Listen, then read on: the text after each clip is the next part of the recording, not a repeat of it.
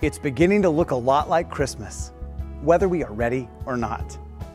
Thank you for taking the time out of a busy holiday season to join us at Dayspring Fellowship as we celebrate the reason we celebrate Jesus. I'm Chris Voigt, and I lead the pastoral team here at Dayspring. In every season, our team here is committed to helping you grow in your relationship with Jesus. Whether you are here in the room or watching online, live or on demand at some point in the future.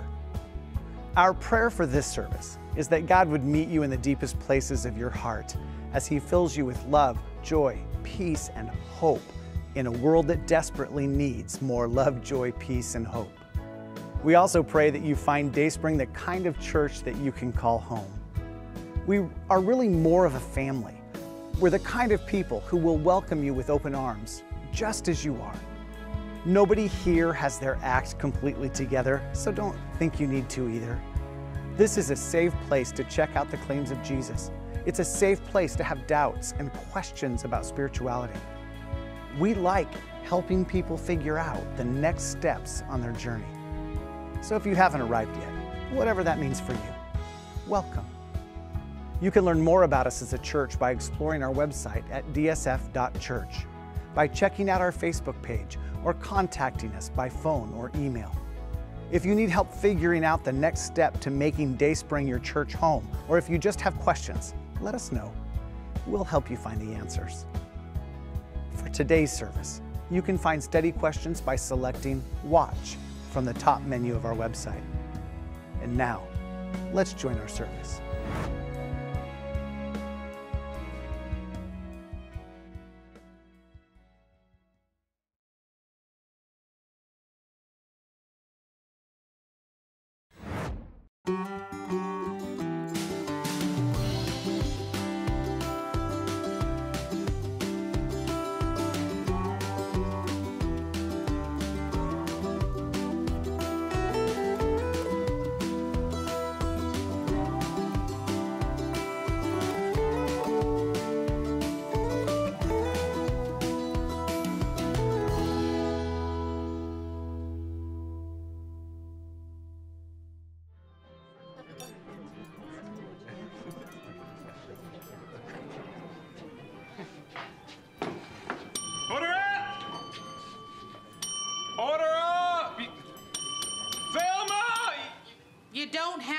My hair off. You know, like I have enough breath to do that. And a very Merry Christmas to you too, buddy. Here you go, Henry. Can I warm that coffee up for you, sugar? No, I'm fine. No, I didn't ask how you look today, Henry. I asked if you'd like some more coffee. Now, Velma, if you talk like that, you're gonna warm up more than my coffee. Oh, Henry. oh, good morning, boys. Is it already time for your second mid-morning coffee break? Slow and steady wins the race, Velma. Well, Bert, you boys got it locked up then. Morning, Nadine. Did you get home late last night? No, I wouldn't say I got home late. well, from the looks of you, I wouldn't say you made it home at all. You must be going for the Walk of Shame Hall of Fame. Excuse me, miss. Oh, the only thing you missed, darling, is my name. It's Velma. Show you stool. I Beg your pardon. A stool. All my tables are full, so a stool's all I've got unless you want to get it to go, and then you can take it and eat it wherever you want. Oh, no, thank you. I'm not here to eat. uh, smart girl. Watch it, Henry. You might just get a check today. well, darling, if I can't feed you, what can I do for you? I'm from the Fountain of Grace Memorial Church, and I wanted to see if I could place a poster in your window. Oh, well, I don't see why not. What are you selling? Baked goods or raffle tickets? Bingo? No, it's an advertisement for our annual Christmas pageant. We've never advertised in this part of town before and thought that it might help. Oh, well, I've always said what we really need around here is a good Christmas pageant. Let's see what we've got here. Okay, Because Tree Lives, a musical celebration. It's a living Christmas tree. You don't say. I saw the living Christmas tree a couple of years ago. Oh. It was some kind of pretty. There must have been a hundred people. 125. All dressed in green. match the tree. They had red balls on their head and icicles hanging from It's their a ears. moving experience. Oh, I'm getting kind of woozy just hearing about it. Excuse me? oh, nothing, sugar. So, you'll display the poster? Well, I don't see why not. But you know, if you really want some help, we can do a lot more than just put a poster in the window. How do you mean? Well, some of the most talented people in town walk right through that door. Oh, Absolutely. Nobody sings harmony better than the Spencer twins.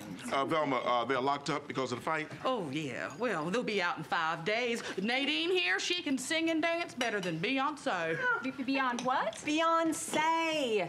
You know, all the singing ladies, all the singing ladies, all the singing ladies. Oh, oh, oh, oh, oh, oh, oh, oh. And my niece sings like an angel.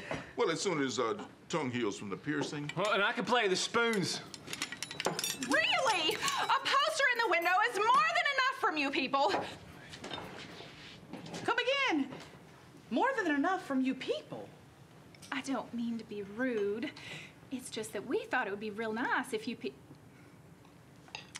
we thought it would be real nice if other people were allowed to come to watch the celebration, but we never dreamed that you'd be a part. Now, surely you're not saying that we're good enough to come to your program, but not good enough to be in your program. now, I didn't exactly say that exactly.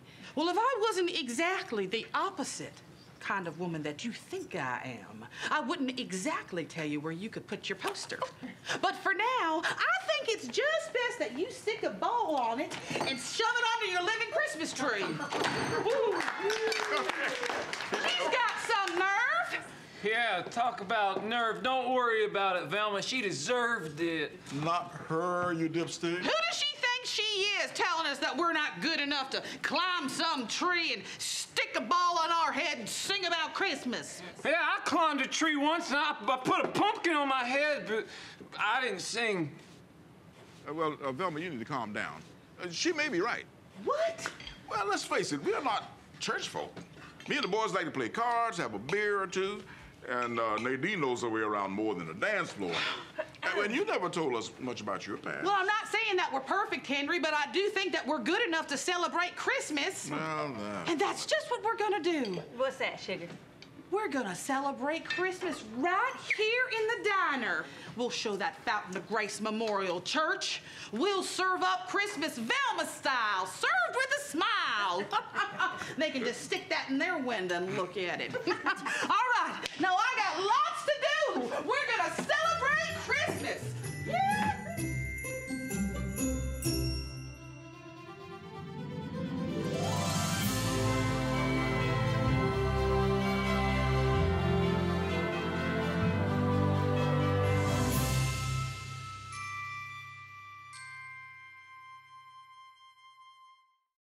Well, welcome, friends. Uh, whether you are here in the room or joining us online, we are glad you're here.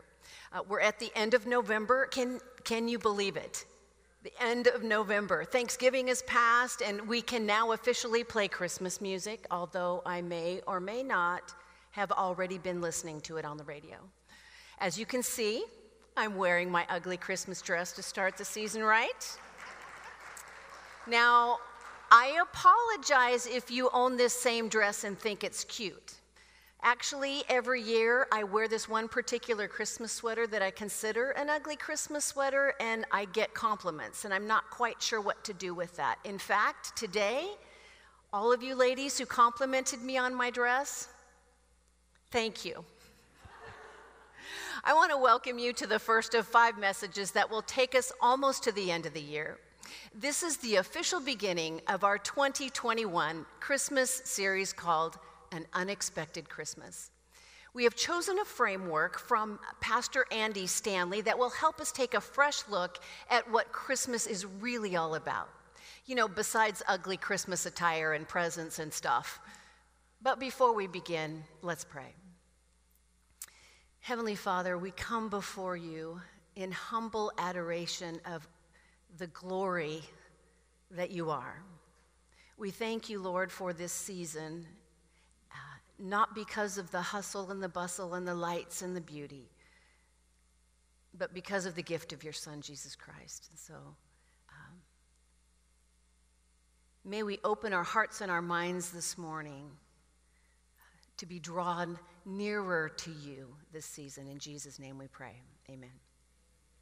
Well, we know that Christmas is not about the decor or the music, the presents, and such. It's about Jesus. And today we're going to take a peek into the book of Matthew and unpack some things that maybe we haven't really thought about before, or maybe we have and we get to revisit and refresh our hearts and minds on the subject. When you look at the New Testament, it begins with four books that we call the Gospels Matthew, Mark, Luke, and John. And these books are about the life and the ministry of Jesus. When comparing these four books, we see that some accounts of Jesus' ministry are similar and some are different. Some include certain things and others include other things. For instance, Mark and John start roughly 30 years after Jesus' birth with the ministry of John the Baptist. Matthew and Luke both talk about the birth of Christ, but Luke begins with the announcement of the upcoming birth of John the Baptist, while Matthew is the only gospel that doesn't start with a story per se, but starts with the genealogy of Jesus.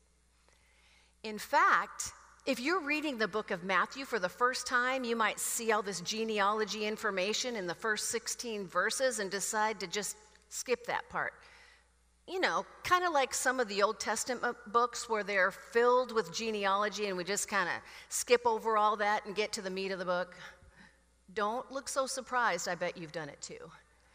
Anyway, Matthew's gospel begins with all these names and who is the father of who, and eventually gets to the Christmas story.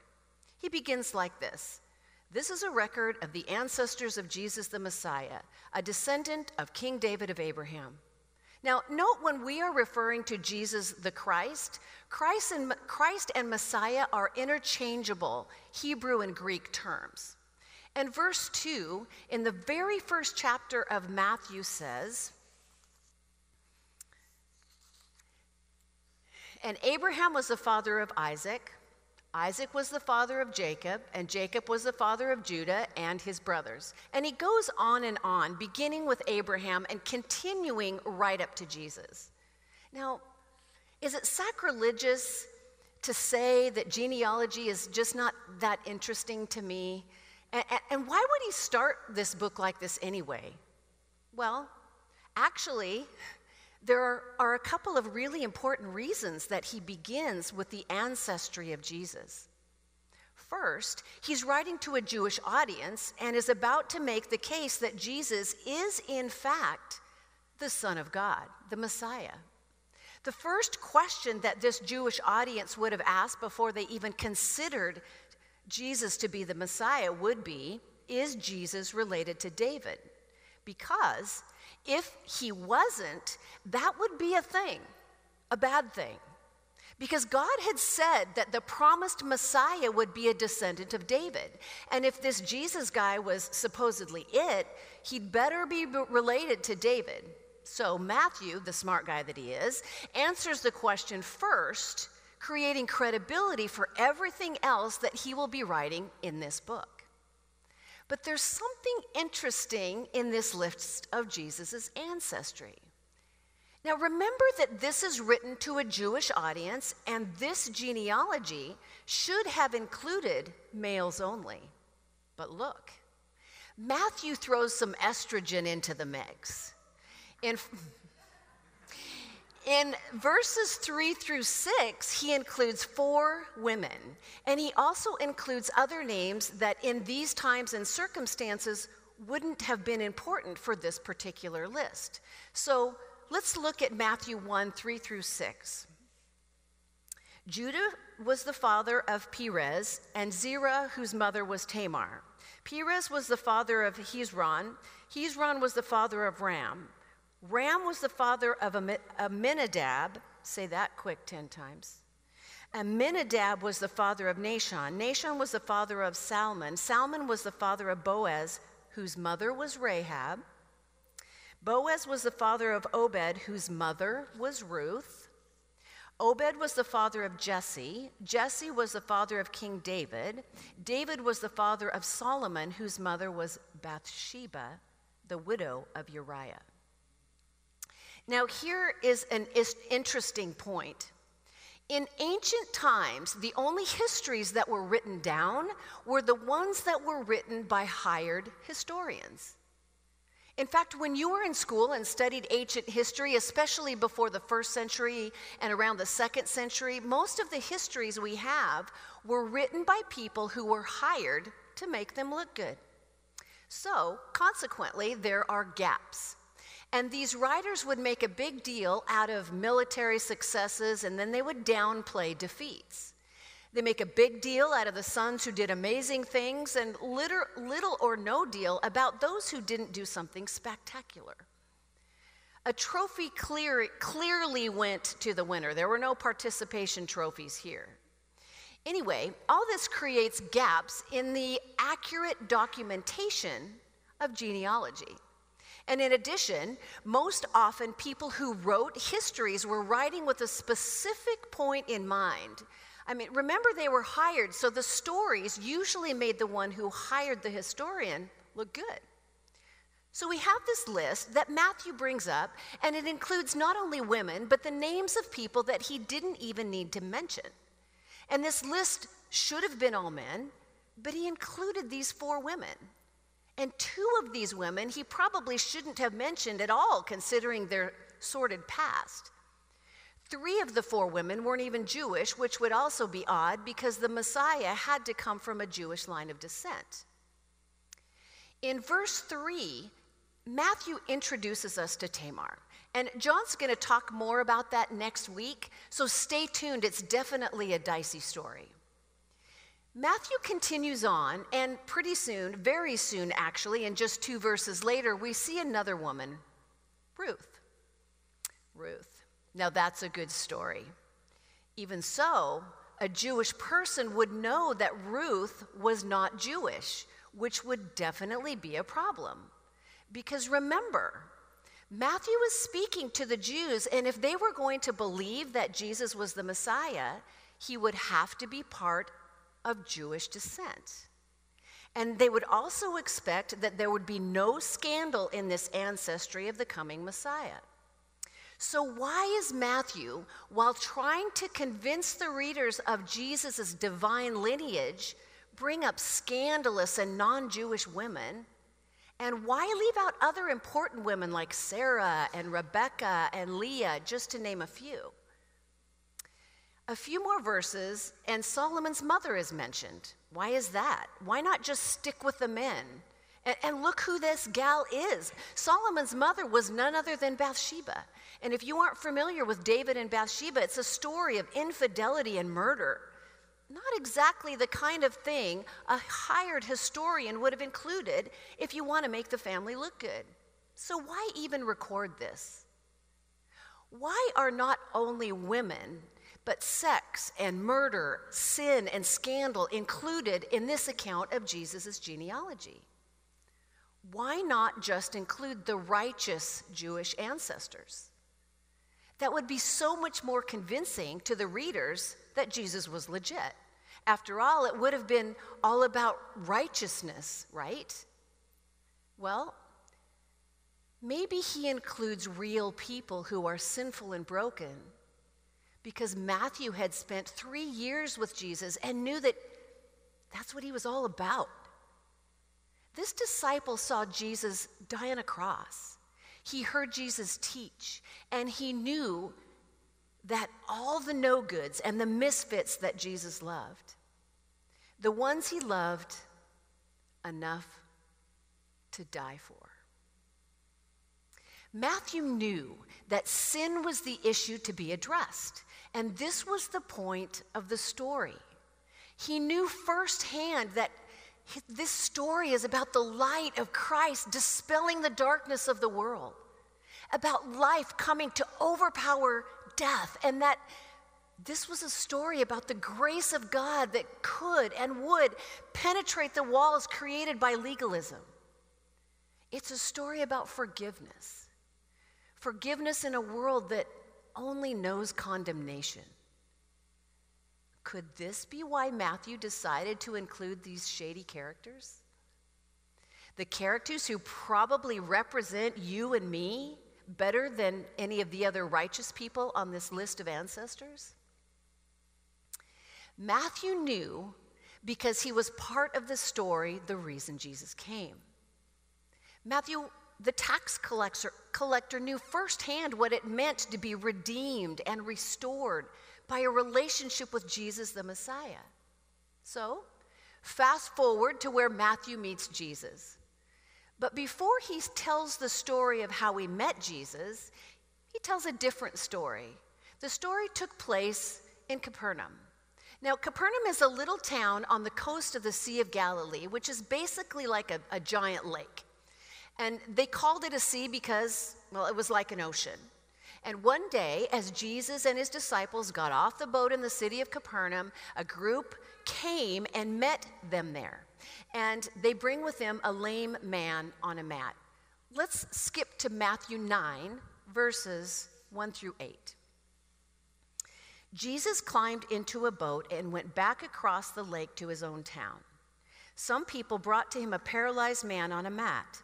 Seeing their faith, Jesus said to the paralyzed man, Be encouraged, my child, your sins are forgiven. But some of the teachers of the religious law said to themselves, That's blasphemy. Does he think he's God? Jesus knew what they were thinking, so he asked them, Why do you have such evil thoughts in your hearts? It is easier to say your sins, is it easier to say your sins are forgiven or stand up and walk?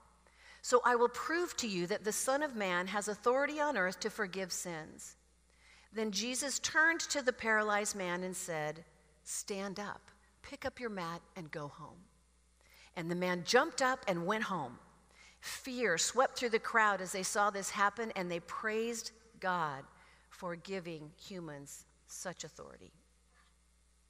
Now, here Matthew is establishing that Jesus has the power to heal and the authority to forgive sins, and that God Himself gave Jesus the authority. In the next verse, enter Matthew. Later, Matthew invited Jesus and his disciples to his home. As the dinner guests, along with many tax collectors and other disreputable sinners, but when the Pharisees saw this, they asked the disciples, why. Now, let me back up just a little bit. So Jesus approaches Matthew sitting at a tax collector's booth. Follow me and be my disciple, Jesus said to him. So Matthew got up and followed him. And now we don't know the exact timing between verses 8 and 9, but the order of events in this account make the point of establishing what Jesus came to do to forgive sins. And this would be important to Matthew because he needed that forgiveness. He was a tax collector. Tax collectors were not well liked individuals. In fact, they were hated. They were hated because they overcharged their fellow Jews and lined their own pockets. The greedier the tax collector, the more taxes the people had to pay. Let me explain. The Romans imposed an income tax, land tax, wine tax, grain tax, fruit tax, boundary road, bridge, and harbor taxes. Everywhere you went in the Roman Empire, there were taxes. And if Rome needed more money, they just raised the taxes in all the areas that they controlled. And these taxes had to be collected. So the Romans sold the rights to collect these taxes to individuals, the tax collectors. These rights were sold at, a, at five year intervals. But the Romans had a problem. Whenever they went into Jewish territory, obviously they weren't very popular. They may even be, uh, there may even be retaliation against these tax collectors. So, in order to solve the problem, the Romans recruited Jews to collect the taxes in Jewish areas. Now, whoever had the right to collect the taxes also had the right to set up their own fee schedules.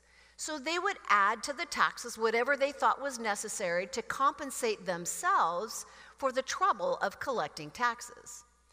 They would contact, or contract out to subcollectors the responsibility for collecting and raising the different taxes in various areas. And these subs would set up fee schedules. Jews got in on the action, even though it meant using Rome's authority to steal. Now, this was about the worst thing that a Jewish man could do. not only were you betraying your nation, you were betraying your God. And you were a total traitor and an outcast, the lowest of the low. And they were, in essence, licensed thieves. Any Jewish man who took up the tax collector lifestyle would be excluded from all religious life with the Jewish community. They were considered the lowest form of sinner. There were sinners, and then there were tax collectors, the worst of the worst. That's who Matthew was a tax collector, an embarrassment to his family, the lowest of the low on the totem pole. He was ostracized from all religious life, and he was not allowed in the synagogue. He was never ceremonial, ceremonially clean enough to go into the temple. His only friends were other tax collectors and sinners. And here he sits in his booth collecting taxes, or more accurate, stealing from his fellow Jews. And up walks the Savior of the world, Jesus Christ. Now I gotta wonder, what was going through his mind at that moment? I mean, he gets up and follows Jesus, so something's happening inside of him for sure. And what's going through the mind of the disciples? They were probably thinking, this is going to be super awkward. What are people going to think now that we have this guy tagging along? And it gets worse. Now we jump into Matthew 9, 10, and 11. Later, Matthew invited Jesus and his disciples to his home as, the, as dinner guests, along with many tax collectors and other disreputable sinners. But when the Pharisees saw this, they asked his disciples, Why does your teacher eat with such scum? Jesus and his disciples gather with Matthew's friends, the sinners and the tax collectors, the low and the lower. And I imagine that this was quite a shindig, as Matthew was probably rolling in the dough and putting on a pretty good party. I mean, he had money, but not the right kind of friends. The religious people and the righteous people gather outside and they don't dare go in or touch anything inside because this would make them ceremonially unclean. These do gooders ask the disciples, What the heck? On one hand, your Jesus talks about the righteousness of God, and on the other hand, he's eating with tax collectors and sinners.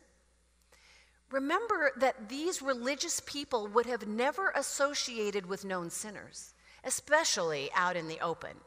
I mean, their gig was to hang out with like kind and not to lower themselves into the pit of where real humanity lives. They would have never had eaten at Velma's diner. Jesus gets wind of the conversation between the disciples and the right fighters. And in verses 9 through 12, he says, When Jesus heard this, he said, Healthy people don't need a doctor, sick people do. And then he added, Now go and learn the meaning of this scripture. For I want you to show mercy, not offer sacrifices. For I have come to call not those who think they are righteous, but those who know they are sinners. Here at Dayspring, we don't consider our church to be a cruise ship. We consider it a hospital ship. A cruise ship is on vacation, living the high life, ex- escaping from reality. But the reality is that we are all in need of help. A hospital ship is filled with people who need help. Velma's diner was filled with people who need help. Matthew's dinner party was filled with people who need help. The real shocker to the righteous ones outside was that Jesus did not consider being a sinner a disqualifier for inclusion. Jesus hung out with sinners. Why? Because they needed help. They needed Jesus. We need help. We need Jesus. We need the saving grace of Jesus Christ. We need his forgiveness and to recognize that we are not all that. Scripture says that apart from Jesus, we are nothing. And I believe that Matthew understood that Jesus called him because he was a sinner. He understood that Jesus came to do the unexpected. He didn't come to be righteous and pious, but to gather those who were the unloved, the outcast, the unrighteous, and draw them into a saving faith in himself.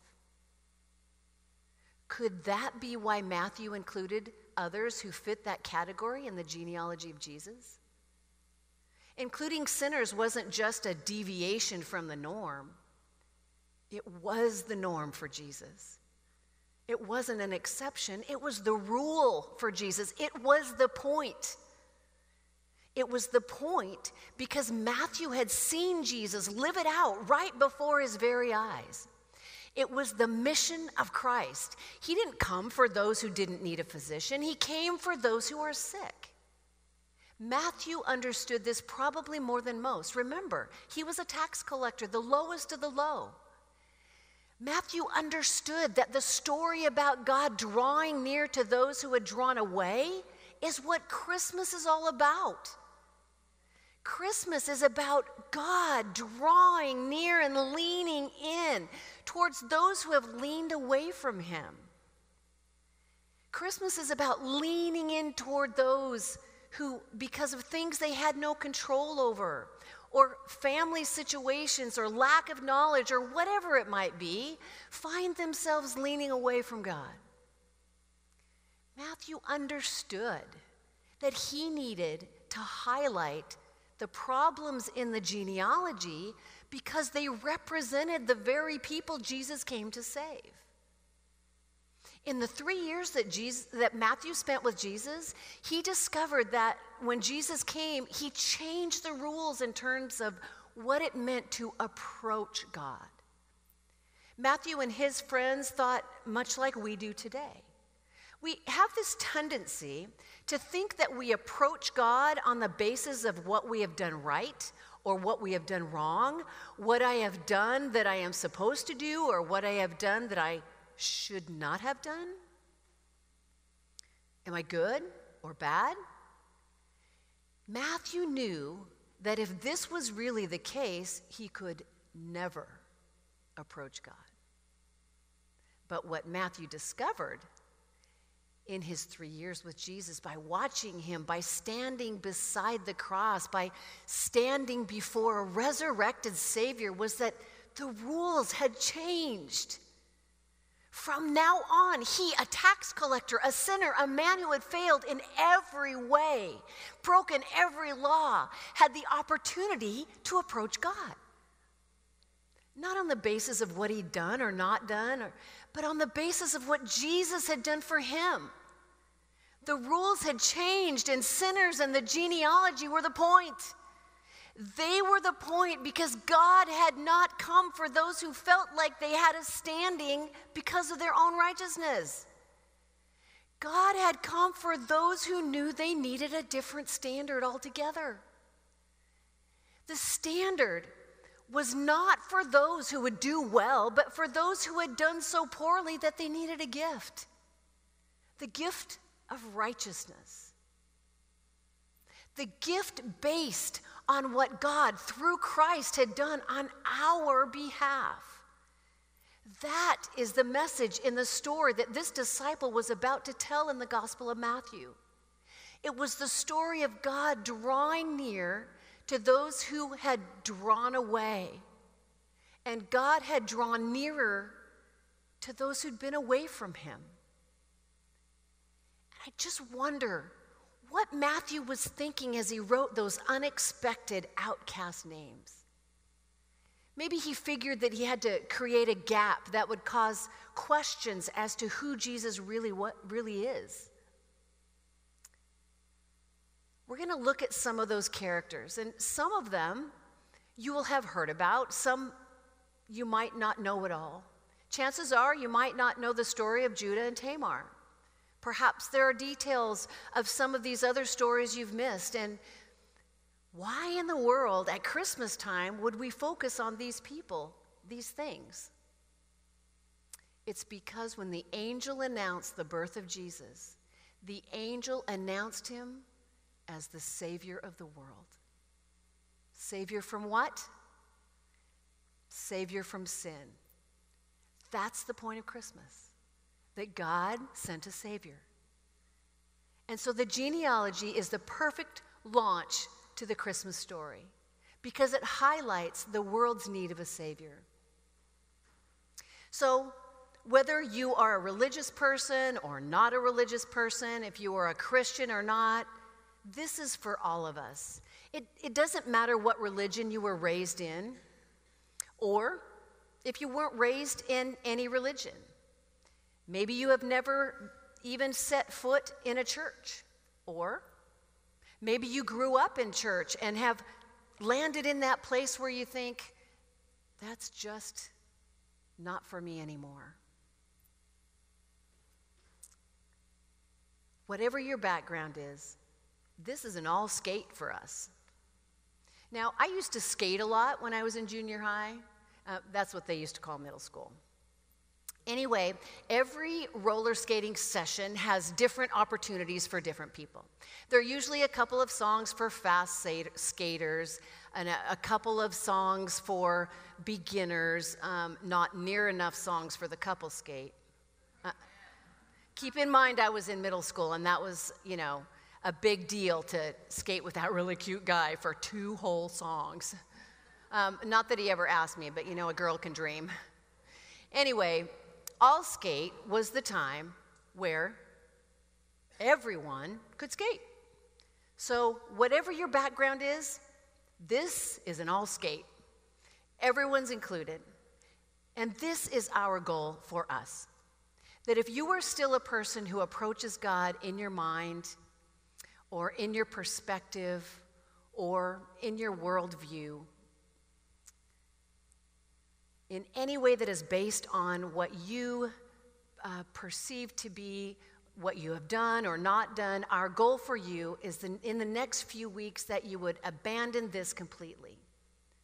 Because no matter how good you are, no matter how consistent you have been in your walk with God and in your behavior or whatever it is that you think is going to draw you near to God, make God more approachable because of your righteousness? It's really not about you, it's about Him. It's not good enough. It's just not good enough. And I've got to tell you that in my life, there's been a lot done right and much more done wrong. I am inconsistent. I have things in my life that have, have I've been incredibly ashamed of. Thankfully, with good counseling over the years, my trainload of baggage has been minimized to a fanny pack. I, I was raised in dysfunction junction, and, and there's so much that one would consider wrong if I use these things to measure my worth or my ability to approach God. I wouldn't even try. And it's so easy for us to use our crap to measure His approachability. The truth is, he's approachable because of his love for us, regardless of our crap. And yes, I am using that word because that's just exactly what it is. The story of Christmas is the story of Jesus coming down and redeeming all that stuff that comes between us and God. All of the sin and the shame and the ugly in our lives, and teaching us that we can be beautiful and healed because of what Jesus did on the cross. Our goal is that we can all be in the place where we can, with a clear conscience, say, God, in my prayers, in my thoughts, in my perspective, in my worldview, I am not coming to you based on anything other than the fact that Jesus has done something for me. That I believe that Jesus has the authority given to you to forgive my sins and to redeem my junk. This is a much more difficult transformation than you might think. In fact, the more religious you are, the more difficult it is to abandon the concept that I, I don't approach God because of who I am. I approach God because of who He is. Perhaps that's why the tax, tax collectors and the sinners weren't the ones who crucified Jesus. Andy Stanley says it this way Perhaps this is why it was the ta- wasn't the tax collectors and sinners, or even really the Romans that crucified our Savior. It was the men and women that believed somehow they had, had an approach to God that could be justified based on their goodness. It was a group that never understood this verse. I have not come to call the self righteous, I have come to call sinners. I have not come to call those who think they have to earn their way through their goodness and consistency. I have come for those who recognize that no amount of good human works will ever justify a man or woman before God, and that the ability to approach God relationally is a gift and has nothing to do with the personal act of righteousness. So, as Matthew wrote this genealogy, how could he resist including failures? It was the failures and the sinners that were and still are the point of the story of Christmas. So, my prayer for you and for us is that in these next few weeks, by the end of Christmas season, that we would have a new perspective, that we would be liberated from a false sense of righteousness and a hopeless sense of unrighteousness that we would be a group of people who would live out our faith daily in such a way that we know that we can approach the throne of grace with confidence, not because what we have done, but because of what He has done. Because that, my friends, is the story of Christmas. Let's pray. Heavenly, Heavenly Father, we thank you for the story of Christmas. We thank you that your Son, Jesus Christ, came for us, broken, sick, impure, imperfect sinners. And that you sent Jesus Christ that we could be redeemed and healed and made righteous through him. God, may we not take that for granted. For those who have never met you yet, God, I pray that this moment you are piercing their soul in a way they've never felt. A curiosity and a desire to know the freedom of a relationship in Jesus Christ is burning in their heart. And if that's you, all it takes is God, just pray this prayer with me. God, I want a relationship with you. I want to know what it, what it means to have Jesus in my heart. I want to, I confess I can't do this on my own. I, I, I confess I do it wrong, that I mess up. But I want you to take the reins of my life and help me to make it right. And in Jesus' precious holy name, all the people said, Amen.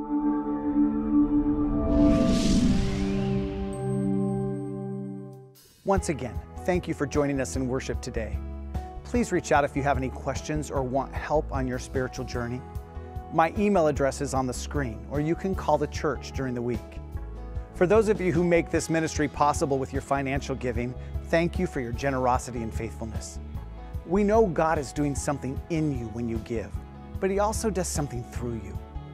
If you are just checking us out today, please know that we don't expect you to give anything to support Dayspring. That is the responsibility of our day springers. Just enjoy the rest of your day. If you'd like to start giving, we have three easy ways for you to get us your gift. Please see the online giving section of our website, or text GIVE to the number on your screen, or mail a check to us at the address you'll find on our website. Also, thank you for liking and sharing and following Dayspring on whatever platform you are on. It means a lot to me when you pass on the good news of Jesus to your friends and family. Until next week, may you experience God's favor and blessing in your life.